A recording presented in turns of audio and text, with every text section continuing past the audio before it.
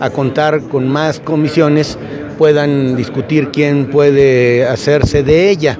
Nosotros eh, observamos a prudente distancia este proceso.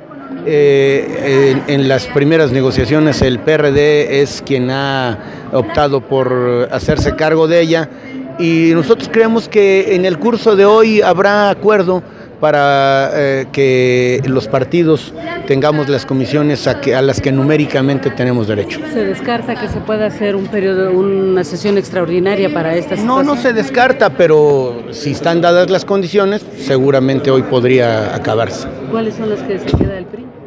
Son 23, eh, presupuesto, eh, infraestructura, eh, derechos humanos, justicia, gobernación, comunicaciones, entre otras. ¿Economía, diputado? Economía la tiene el PAN. Gracias. Justicia y seguridad pública. Justicia, seguridad pública la tiene el PAN, justicia el PRI.